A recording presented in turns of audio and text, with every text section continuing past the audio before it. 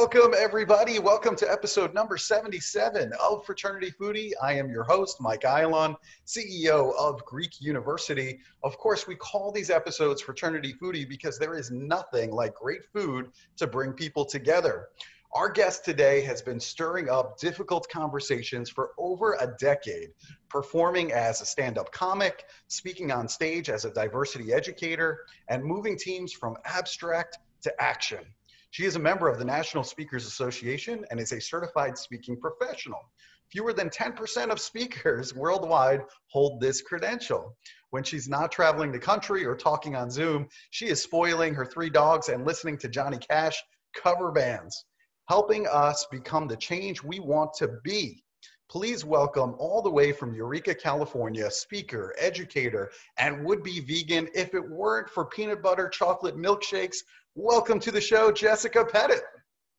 Well, thank you very much. Lucky 77. Here I am. there you are. I love it. I love it.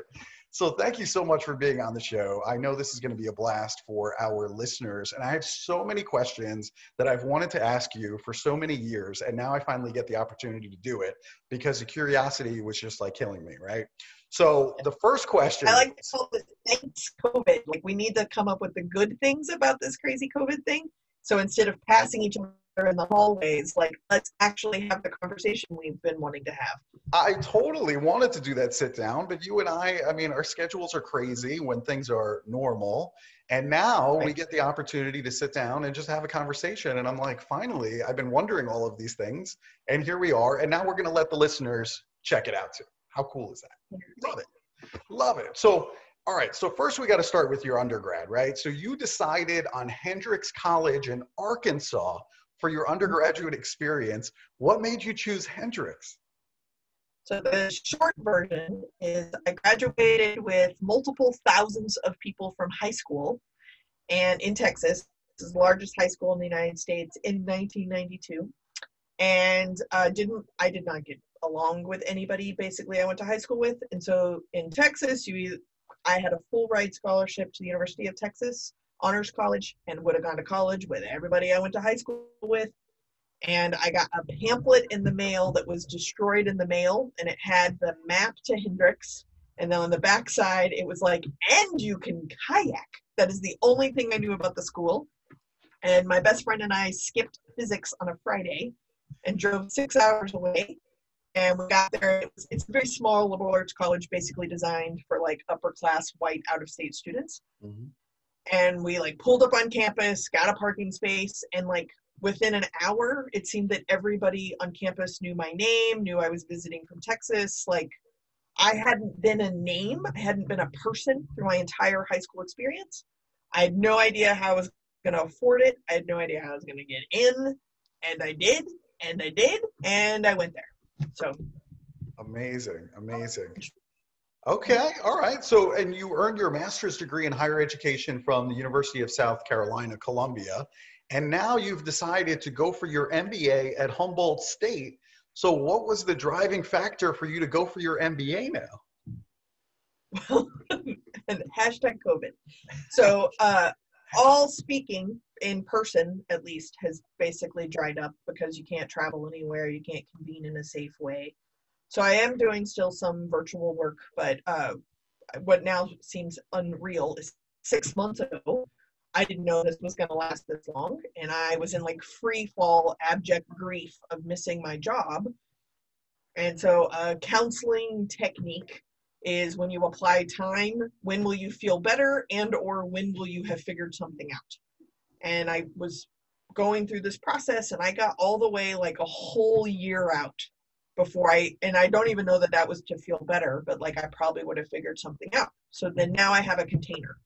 So if it's a year, what could I do in this year that would make me more attractive to the clients I typically work with? And my husband is a professor at Humboldt State, so we get a partial tuition waiver. It is called a tuition waiver, and that's a lie. It is a partial tuition waiver. It's a one year program. It focuses on corporate social responsibility.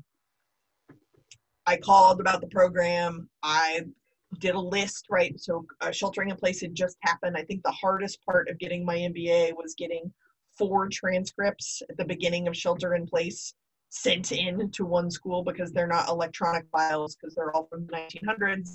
So like somebody had to get permission to go into a vault and like pull out a sheet of paper, right?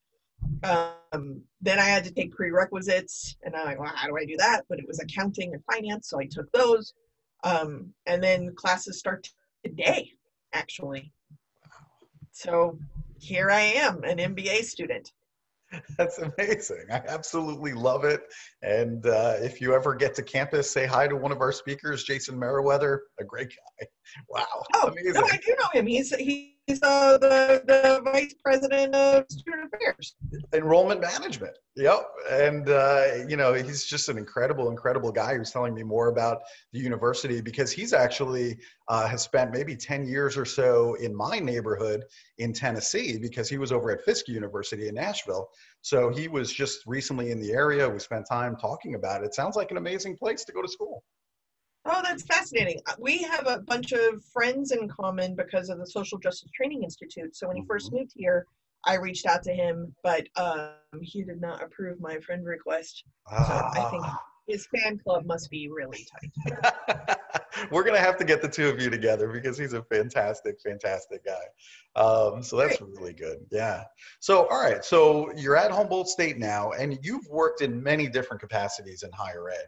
But what I was interested in, for being fired a lot.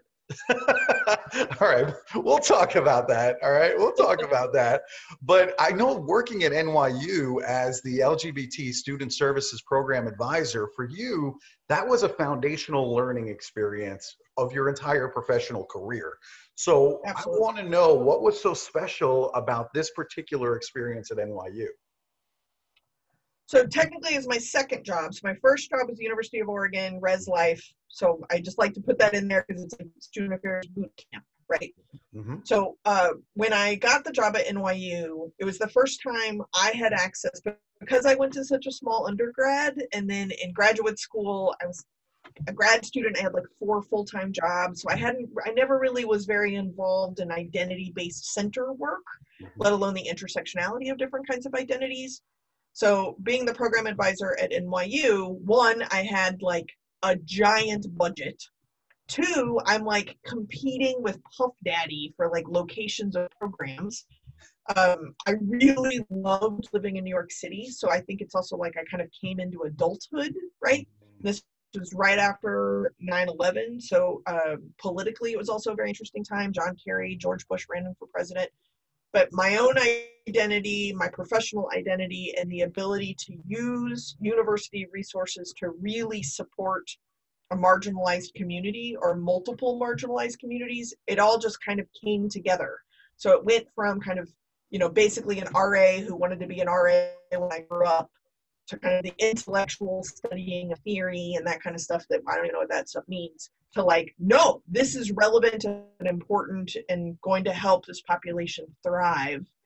And then, like, the final kind of last piece was when I realized as a white queer person how much privilege I have. Mm-hmm. Instead of doing organizing work for my subordinated places, realizing the ally and advocacy work I could do for my dominant places. All that happened at the same time at NYU. That's incredible. All right. So we have Res Life at the University of Oregon right out of grad school. Then you're at NYU. Then you start the LGBT Center at Arizona State, which, interestingly enough, for our audience, that was the first publicly funded LGBT resource in the entire state of Arizona. And then you go over to the University of Arizona.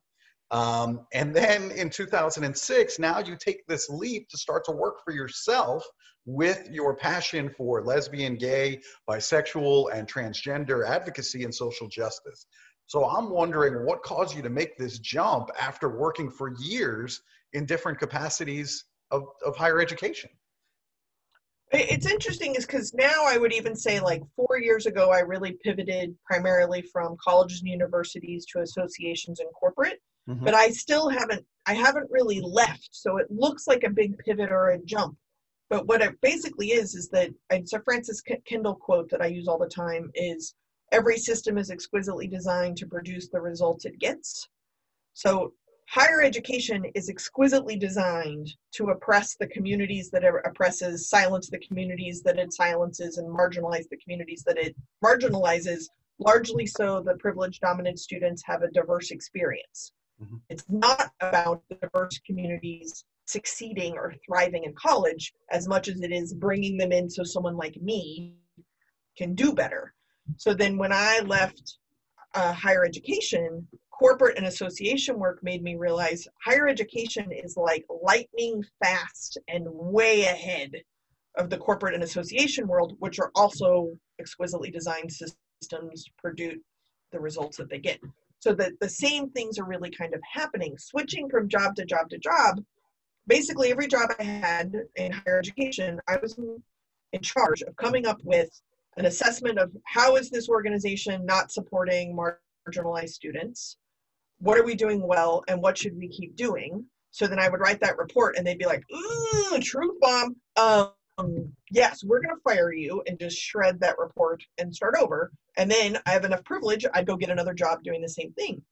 Well, after four or five times of doing that, one, I realized you make a lot more money as a consultant. And oddly, everyone who's ever fired me has brought me back at a much higher paycheck to do the same damn thing I did when I worked there. But there's also, uh, it sounds like a joke, but there's also an effective strategy of scarcity that is related to a departing flight that mm-hmm. the expertise of every day, every week in a staff meeting. You don't get to express your expertise because you're just kind of one of them. But if mm-hmm. you're an outsider coming in, you can truth bomb all over the place and then you leave. And that fit my personality a lot better. Uh, I have had a therapist my whole life, and I think that it's also relevant that I did not manage my supervisors well. I did not manage up well my parents died when I was young. I am the oldest, so I never had to like be accountable to someone else. So being self-employed is really the first time I've ever been accountable to my boss. This case, my boss is myself. So I have lots of meta conversations and still put letters of reprimand in my file. But the work I'm able to do and what I'm able to access is way more successfully received than inside of like a power structure of an org chart part of the team and it just works better and i literally kept getting fired so after the third time of getting fired there's one common denominator so then um, i was actually at a conference and at acpa i was facilitating whatever controversial conversation topic was at that time and uh, Christian de la Huerta, who is a speaker with CAMPUSPEAK, actually like pulled me aside afterwards and was like, "Have you ever thought about being a speaker?" And I was like, "What are you talking about?" And I had hired speakers, but it didn't dawn on me that that was a job. Similar to when I was an RA, I didn't realize the hall director wasn't just like bored, but like that was a job, a profession. So anyway, so then I had missed the um, enrollment or the application process with Speak. So then I basically was like, well, I have a year to figure out if this is what I want to do and how I do it. And University of Arizona job kind of happened at the same time in my personal life. Like I had fallen in love and he got this job here at Humboldt State and we got married and we lived apart for a year and all of this was happening at the same time. And it just, it was a very clarifying opportunity that I had no idea if I could do. So the biggest pivot or the biggest leap of faith was I quit the University of Arizona. I did not get fired. Um, I quit. I moved to California. I became financially dependent on a man who I also was married to, and like put all of my eggs into this one speaking agency to see if it would work. But I also brought seven years student affairs experience working very specifically with broad stroke diversity, social justice stuff and then specific LGBT stuff. And at that time, transgender non-conforming stuff was like brand new eh, on the discussion boards. And then within Greek life, because CAMPUSPEAK is so well known within Greek life, I had to go to this conference I'd never heard of called AFA, and I was like, "Oh, no, my type doesn't go to those things, right?" So then, I, my very first AFA, I walk in and I'm like, "Why do I know everyone here. And it's because I had done so much LGBT work within NASPA and ACPA. Mm-hmm. So then all these queer people at AFA, I was like, oh, okay. So then I really observed, which I recommend if you're managing up. And no one was talking about gender nonconforming members or recruitment or alumni. And so then I just kind of like picked that and basically created an entire career off of it and then eventually was able to expand to much broader topics. Yeah. Now here makes- we are. Yeah, that makes total sense to me. I totally get everything that you've been through because for me, you know, working for my fraternity headquarters, I think there was a limited amount of truth bombs that I could drop. But now, as a speaker, I can drop truth bombs everywhere, and it's okay. Um, and then I leave, right? so, Yeah. so I do, and I do like very little internal work with my organization, but I also didn't have like an undergrad experience. I was an alumni initiate, etc. But I do a lot of work with fraternities and sororities across five different councils, just mm-hmm. not mine. right. Same thing. Yeah, makes total sense to me. I totally get it now. So now that everything is coming together here. Now, your book, Good Enough Now, originally came out in 2017, but the second edition paperback just came out this month, and you're mm-hmm. almost done with the ebook and the audio book. So if you want to go and pick that up, go to www.goodenoughnow.book.com. There's also a book club at www.goodenoughnow.book.com slash club. And this book essentially talks about being our authentic selves. So that way we can im- improve our companies, our relationships, our communities. And, you know, in just thinking about your book, it totally reminds me in a former life, I was a website designer and a family friend had contacted me to build a website for his live music business. And he happened to play at weddings in town. So I put together a whole website for him back in 2008, just residing on my own server. And he just never thought it was perfect to publish, whatever that meant. And no matter how many changes we made, it still wasn't perfect. And he didn't have all the text that he wanted for all the pages. And he didn't have all the right videos showcasing him yet. He didn't have all of the high end pictures of him in action. And all of this prevented him from ever publishing a website. His business never took off the way that it should have because he's a very talented musician, despite me explaining how different my website looks today as opposed to when I first started the business. It looks totally different. So I guess my question is what do you say to these people who struggle with inaction or always chasing perfection? So the what, stop. That's what I tell them. Stop. So the the two concepts that came up, and maybe the three concepts that came up when I was like compelled to write my book. So this like inaction perfection loop. As soon as we start talking about diversity or social justice issues, people are freeze. They have because they don't connect. This person would not publish their website because there might be a typo on it. Right. it what I realized is exactly why I don't know how to have a conversation with someone on Facebook that makes me nervous or like has an identity I'm not familiar with or an, a political opinion I don't agree with. So I'll passive aggressively unfollow them or just avoid them. Right? Those are the same there's a connection there. And so what I my methodology is kind of a Trojan horse diversity program now in that you need to be responsible for who and how you are. That's the bottom line, right? Mhm. So there are things you're like, "Mm, I want to do that. Okay, but trying is terrifying. But if you tried to try, then there's less judgment about whether or not it's going to be perfect, right? So even if we look at the concept of innovation and attach it to these challenging conversations or the election or these third rail, eh, you know, hot topics you're not supposed to talk about. What is fascinating, I think, is is that once you realize that you can try to try to have a conversation, you all of a sudden have this ability to like screw it up because you weren't really trying, you're just trying to try. So when I look at now on a corporate level at innovation, like people release something because it's like okay, and then you're looking for the early adopters to tell you the bugs, and then you get, you get the freedom and the space and the reward of that that you got to upgrade, you got to update the application. We fixed something.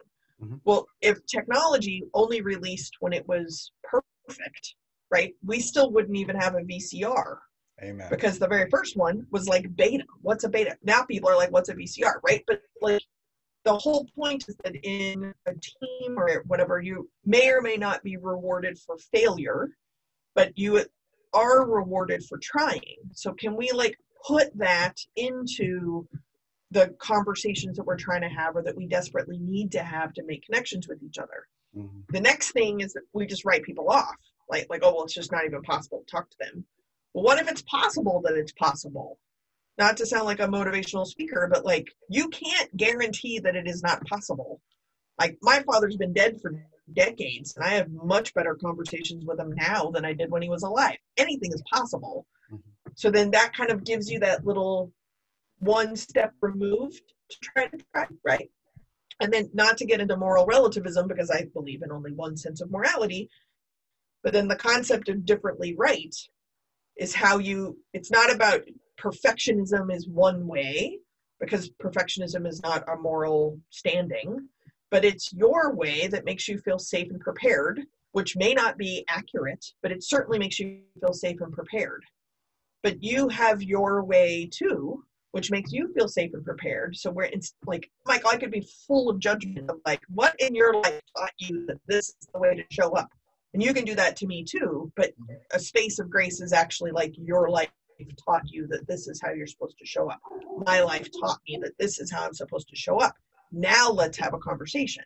Mm-hmm. That's all it is. It's just this like one step removed kind of piece, which making the step is a step of action and then it's not about perfection it's about starting so i, I put it. it all together into like self-awareness work and then i use diversity topics that you're supposed to be all shy about even be able to speak about as the examples because if you can end up talking about abortion or gun laws it's going to be a hell of a lot easier to talk to your annoying uncle it's true so it's mm-hmm. absolutely true. Thank you so much for that advice. I think it's really spot on. And also in your book, you talk about leaving room for edits, that our mm-hmm. story is never the full story. What did you mean by that? So, similarly, like your life taught you that this is how you're supposed to show up. Mm-hmm. My life taught me that this is how I'm supposed to show up. So, the limitation that's already happening is I'm not accurate. like, I feel safe and prepared in my judgments and assumptions about what this podcast is going to be like or what your audiences are going to want to hear from my answers, right? Like I'm making judgments and assumptions so that I know how to show up. My mm-hmm. cussing filter is in, and I'm like picking and choosing examples that might be relevant to who, but I don't know that I'm right. Mm-hmm. But I don't care if I'm right. I care about feeling safe and prepared, right? So then if I feel safe and prepared, what I'm going to do is write a story about the person or the situation or the engagement. That's how I pick out what to wear or do I need to put Spanx on? Do I have to wear a bra? Do I have to have a cussing filter? Like, is this joke going to be appropriate? Right? Like, we make those choices. Leave room for edits is one to be accountable and responsible for the draft you write. Your life, my life taught me that this is the, the draft. There's habits there, there's different things, right? So then you print the draft, triple space with extra wide margins. But if you actually wrote a book and you need an editor, you like, it's like waiting for a new lover to like respond to a text. Like, have they even seen it yet? But when you give it for edits, you're curious and you're generous and you're hoping to get it destroyed. You want it to come back so much better why can't we employ that with one another? Mm. So I write a whole story about you. I don't want edits. I'm right. So I'm gonna make you fit into my story that I know I am only writing to feel safe and prepared. Why can't I extend the same curiosity and generosity to the person who's the subject of the story I've drafted to actually become more accurate? Mm-hmm. That's it. That's all we have to do. It's less defensive making, it's asking appropriate questions you don't know the answers to, and then making the edits to your story. That's it. That's all. I would not have job security if we would just do that. But nope. So I have a mortgage. Works out great. I love your perspective. I think it's fantastic. Now, we are in a very difficult time right now. I think we can all agree on that. Um, and I'm hearing from students who are sometimes making excuses and they're focusing too much on what we can't control right? So a good example right now would be recruitment in a fraternity or sorority in a virtual format that, you know, we can't possibly be successful because of the pandemic and, and we can't possibly win at this. So how do we change our perspective and instead focus on what we can control today? And maybe this is a good segue into talking about cancel culture as a whole versus consequential culture. Yeah, So d- just this morning, I was uh, I've been doing some consulting work with professors on how to like adjust their activities, their engagement, interaction on Zoom from in in person. So I'm going to use this as an example. Okay. So we are going through how to do breakout rooms in Zoom, and the professor was like, "Well, I'm just so nervous because like, what if this happens or what if that? What if?" And I was like, "Okay, so if you were in person and you gave everybody group work." One group is going to stay in the classroom, which makes you nervous because you can't like check their own email because they're going to watch you. But everybody else is going to leave. You don't know what they're doing when they're out there. They could go take a nap. They could be making out with each other. They could go to work. They could go be doing uh, homework, whatever. But you told them what time to come back, and you come back and you deal with it, right? And she's like, absolutely. I was like, fantastic. That is also what happens in breakouts. But because it's virtual, you're nervous about it Yes. right? Or so like another professor was like what if what if the bandwidth doesn't work? What if the internet doesn't work? And i was like if you're in a real person class and a fire alarm goes off in class what what happens? He's like oh well there's just there's, there's just no class. You just figure it out. And i'm like you already have the skills right? Like you this is not about a clamp down kind of situation. Mhm. we take recruitment. You've been failing at recruitment for years. I don't know why all of a sudden you're nervous about it right? Yes. how much recruitment have you gotten somebody? Then you were like why did we say yes to them? Now you stuck with them until they die graduate or flunk out. You've been making bad choices in person all this time. You have been making bad choices about not picking someone who turned out amazing someplace else okay so now you have a new system that you're nervous about picking the right person or picking the wrong person. How is that any different? The biggest difference is you don't have to wear those stupid heels anymore right? Like that's it. So so just having like a realistic understanding of what it is that's happening helps you understand that when you're doing it in a different way if you understand why you were doing it in the first place doing it in a different way shouldn't be as terrifying. Mhm. you know like i make fun of easy mac all the time like the microwave easy mac when was Kraft macaroni and cheese hard to make? So now we have to make it easy. So now it's in a microwave for. T- I don't even own a microwave. I can't. Even, they have literally created a, a product I can't use because I don't have a microwave. So I'm super old school and use Kraft macaroni and cheese. Which, by the way, when I got my master's, I promised myself I would only eat brand label mac and cheese. That was my big commitment to myself. But if I was really being proper, I would make proper mac and cheese. I am a southerner from Texas. Like, what is wrong with me? So, if I'm aware of this evolutionary chart of this completely devalued what proper mac and cheese is, then I've lost touch with why I'm eating this thing in the first place. It is warm, carb covered in cheese. That is what I'm looking for. When you get down to two minutes in a microwave and you like hit the button fast because you can't wait two minutes anymore, you have lost why you're doing it in the first place. Recruitment, hiring, firing, one on one staff meetings, podcast interviews, like all of these things are just a new format of why are you doing this in the first place. Hmm. And usually what happens is that we want to control all this outside stuff instead of actually asking us the question. So like the consulting work that I've been doing with teachers, I tell them the hardest part of this is I cannot tell you what you should teach. I cannot tell you what the efficacy of what you do teach is. But if you can answer those questions, I can tell you how to do it virtually. But if you haven't reflected on why are you teaching what you are teaching and the way that you are teaching and what works, I can't help you. No bell and whistle is going to cover up that you actually have no idea what you're doing. Right. Great point. Great point. Hopefully, the fraternities and sororities are listening to that. That's a really, really important piece. Well, they'll Um, listen, but they'll dismiss it because what they're going to want to do is point out who's worse than them right. and then worry about fixing them instead of paying attention to themselves, which is Mhm. great. Again, I got mortgage payments. Bring on your illogical behaviors and habits. but that's all you have to stop doing is stop worrying about making them better because that's not getting us anywhere. Mhm. And whatever it is they are doing that's wrong or annoying or illegal, you're probably doing too. So why don't you like pay attention over here instead of worrying about them? Right. Just some of the time would be great. Maybe something that's helpful for the students here is that in the book you talk about what leads to long lasting connections. So, what's your advice to students in this virtual environment to make these long lasting connections with other students?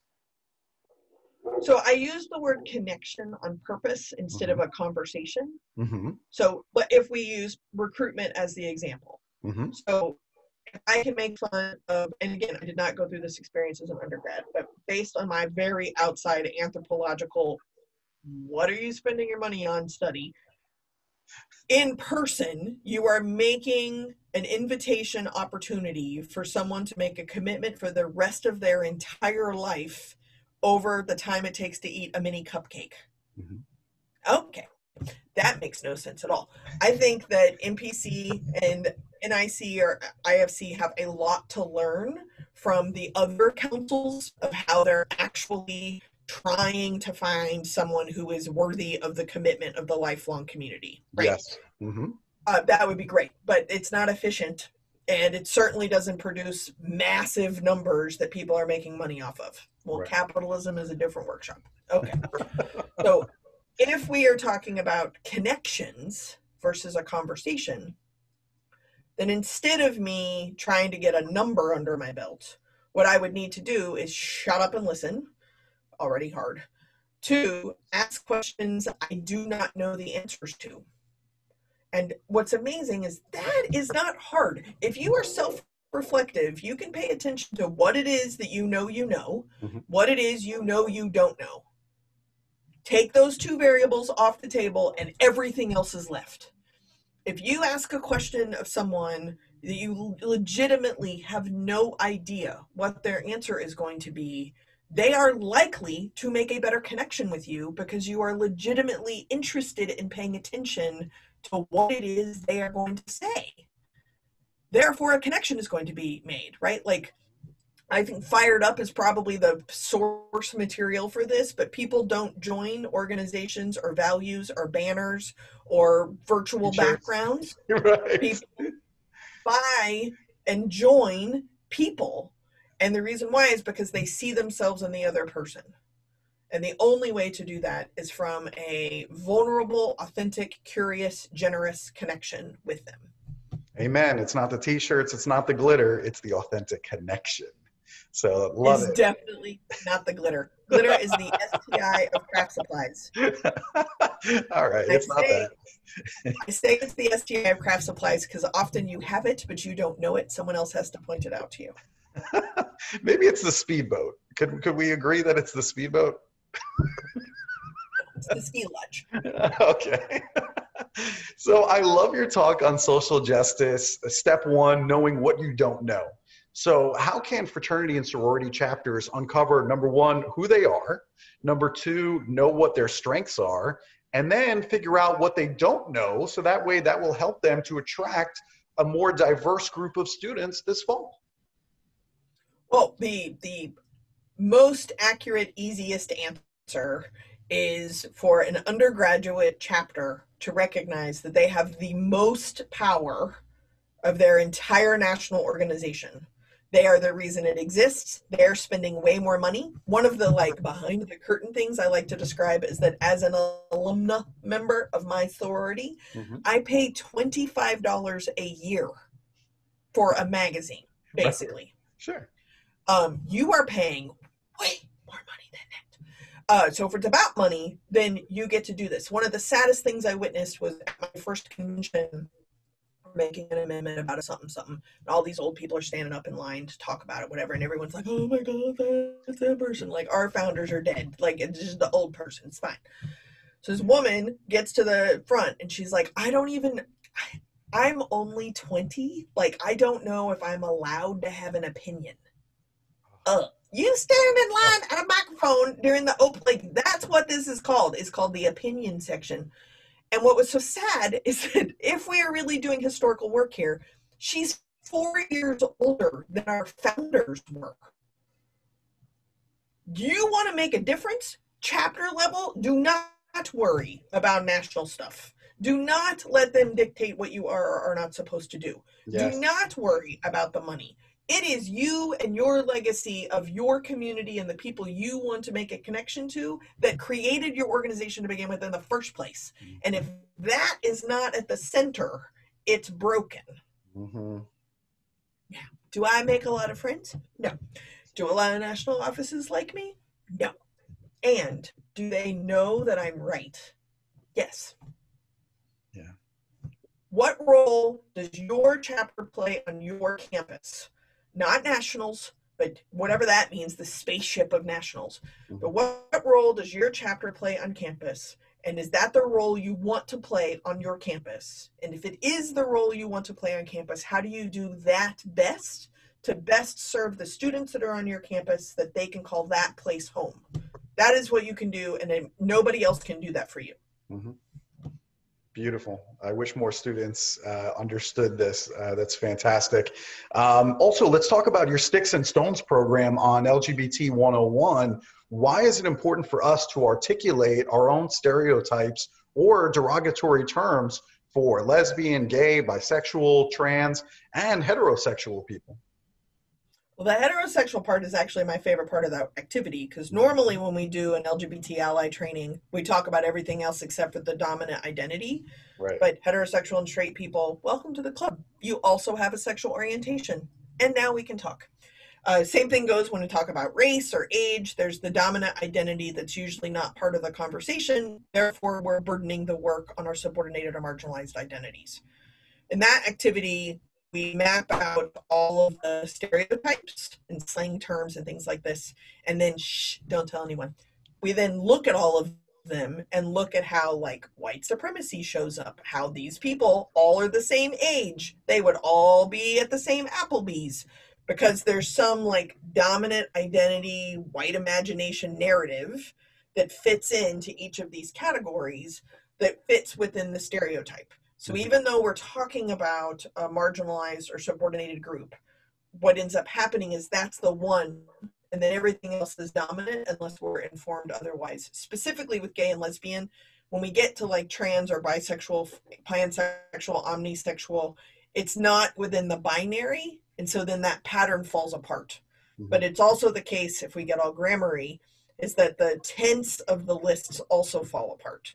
So instead of describing a community, it's more about what does that community do that actually threatens the binary that exists between straight and not straight and inside not straight, gay or lesbian. So then we can actually dismantle heterosexism and this binary expectation of gender or sexual orientation that is then deeply rooted in class ability christianity political involvement whiteness etc mm-hmm. Very good. I can't order Taco Bell without talking about all of these things. So then we just use one as the entry point and then pull it all out. Mm-hmm. So now is a good time to talk about racism and political views, which of course is a big thing right now. Um, so, how can fraternity and sorority chapters ensure that their members are heard on these difficult topics, such as racism or politics, I've personally seen chapter members. One student, a sorority member in New York, comes to mind. I came off of stage and she told me this, you know, story that basically she's being encouraged to not voice her opinion on these topics. It was politics at the time because her sorority felt that if she voiced her opinion, it would alienate potential new members and that would somehow impact the number of students that they could attract. So, what do we do to make sure that our members feel like they're heard on these difficult topics? Take your money with you and leave. Hmm. Like, there, this is not an, an additional expensive assimilation process. Mm-hmm. In theory, the way that it works on paper is you have the idea of what kind of values you actually stand for. And you find a group of people who live their life based on those values at least some of the time and that that works. And so no matter what kind of consulting work i do with fraternities and sororities i don't tell them what the right thing to do is but i make them determine whatever it is they want to do. How does this align with your current values? If it doesn't you either need to change what you're doing or you need to change your values. And if it does, then the answer is in your founding documents. The answers are in your governing documents. I'm here to like hold your hand through the process and tell you some jokes, but your founding documents are why you exist. And it's it's not who you're going to become. It's because of the consistency of who you are as a collective. Mm-hmm. So it's about collective responsibility. Mm-hmm. If you are silenced because you think it's bad marketing. That is the bad marketing, Mm-hmm. not the being silenced in the first place. And then as far as like paying attention to people whose voices aren't being heard, which is not any new, that is a consistent. They've been telling us all they, whoever they are, the subordinated marginalized folks have been telling us their lived experience the whole time. Mm-hmm. But because we don't experience it, we don't think it's a problem from a dominant place. Problems that need to be addressed by folks from a dominant identity are literally problems they would never experience. That is why, because they are from a privileged identity, they can address a problem that they don't really deal with on a daily basis at no cost. But that's how we'll actually dismantle it Mm-hmm. you know I, I really hate the word empowerment and the reason why is nobody anywhere needs to be empowered we all have innate power what most of us need to do is to shut up and actually provide a space for people to say what they're saying and it get heard Right. you don't need to do anything else. This is not a back an inaction kind of thing. Mm-hmm. Active listening is much harder than doing something or implementing a program. And most of the times we are implementing programs about empowerment when really what we needed to do was like put our checkbooks down and actually listen to the stories that are actually being told. Maybe if you want to get all advanced placement, notice the pattern in the stories and how you're not experiencing those things. But it's easier for you to dismiss them because you don't experience it than to take it in and listen to something because generally when you're privileged or you're coming from a privileged identity you feel entitled to all experiences. Mhm. well that doesn't make any sense. How are you supposed to experience everything? Stop just stop it hmm Yeah, it's just amazing to me. I mean, obviously, our organizations, uh, you know, your sorority, my fraternity, we all started around debate. I mean, we couldn't talk about certain topics on college campuses, so we created these fraternities and sororities, and we had debate, uh, and that was encouraged. And so sometimes I do feel like, you know, today's society, there is some of that going on where we're not able to voice our opinions and be heard if we're not part of this, you know, dominant group that believes one way. And and that to me is the unfortunate part about what's going on right now. So, yeah i agree oh, all right. So let's talk about something really good here. Something that I love. We love good food here at Fraternity Foodie. So if I end up in Eureka, California, I need you to tell me where should I go to get a wonderful meal. Well, first off, if you end up here, you didn't do it on accident.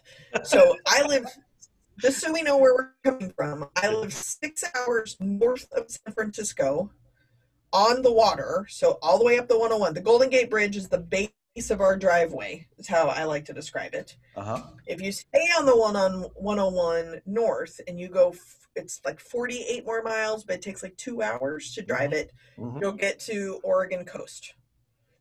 So that's where I live. So if you were here, you meant to be here.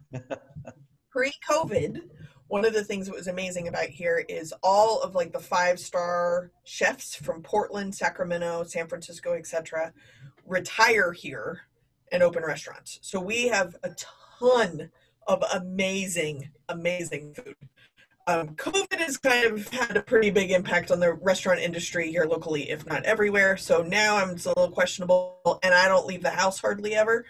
But I would say the two places that I immediately thought of when I read your question in advance. So the first place um, is called Cafe Nooner, and Guy Fieri is that how you say his last name? Yes. The- that guy. Yeah. So Uh-huh. he's actually from Ferndale, which is a small town south of here. And he has a show specifically about Cafe Nooner and some other places here in town too. But Cafe Nooner is an example of one of the things that happens here is that uh, usually due to a marriage of two uh, cultures or ethnicities of food get merged together. Mhm. So like Cafe Nooner is Mediterranean and Creole put together Beautiful. it's incredible and Yeah. they do curbside takeout right now uh, los bagels is a mexican and jewish relationship and they are good like new york style bagels so i'm okay don't worry about me Are you sure? yes I, I, this is that's like fighting words they can they can't do pizza they can do a bagel those bagels and then my favorite place so if we were to go out to dinner i would take you to this place it's called Okay. the alibi and they have the nice side where all the tourists go and it's new and pretty and then they have the dive side where like the lights are low and you don't want to look at the carpet but they have the best burgers and french fries which is I my love favorite I love it. So I'm going to take you out to Alibi when I get to your neck of the woods, and I will get to your neck of the woods. So I'm definitely looking forward to that. That sounds awesome. All right. So where should our audience go to connect with you or follow you online if they have more questions for you, or maybe they want to bring you to their campus? so you can always go to jesspettitt.com there's four t's in my last name. Nobody can spell my name so you can go to goodenoughnow.com as well. Um, but i'm happy to do it. I've been doing tons of virtual programming so there's all kinds of options available. And i really really um, i love what i do and i wish i didn't have to do it but you won't do it so i'll still show up that's how i look at it I love it. Bring Jess to your campus. She's absolutely amazing. I love spending time with you because we just don't get enough time to do it on the road. We're always running around. And so I appreciate this time. Can't wait to uh, have a burger with you at Alibi. And uh, we'll see you sometime soon on the road, I'm sure. Oh that'd be so great remember the road I know, I know. I long for it too. It's going to come one day. I promise you, it's coming. This this is probably like the weirdest craving I've had because it's so food related. Uh-huh. But Terminal C, O'Hare Airport, and I I just hope they're still open eventually because nothing's open now. But the make your own salad place dangerously close to the big dinosaur. Yeah. So the pasta salad, you get to pick the toppings with extra French dressing, like that. I would kill for that right now because Are, it would are we even going to have that? Are buffets going to be a thing in the future? it's travel. Our airport's going to be a thing. So many questions. so many questions. All right. Well, thank you so much. And to our listeners, thank you so much for listening. If you like this video, please like it and share it. Send it to somebody else that you know that might be interested in some of Jess's programs because she's fantastic, I have to tell you. So thank you so much for listening. And we'll see you on another episode of Fraternity Foodie. Bye for now.